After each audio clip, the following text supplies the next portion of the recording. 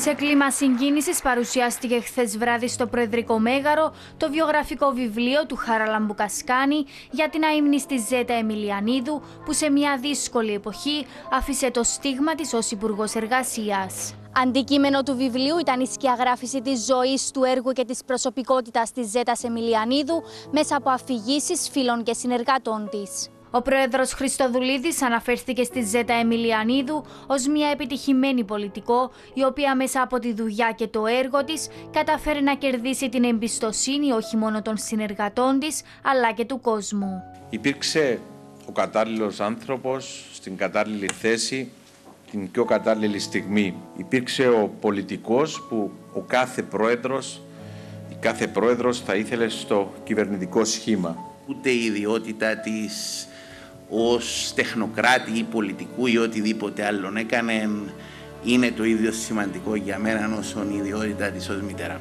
Στη στάση που τήρησε η Ζέτα Εμιλιανίδου, η οποία ξεπερνούσε τα μικροκομματικά στεγανά, αναφέρθηκε ο συγγραφέας του βιβλίου Χαραλάμπος Κασκάνης. Η Ζέτα Εμιλιανίδου έδωσε μαθήματα αξιοπιστίας και αξιοπρέπειας, εντιμότητας και ήθους.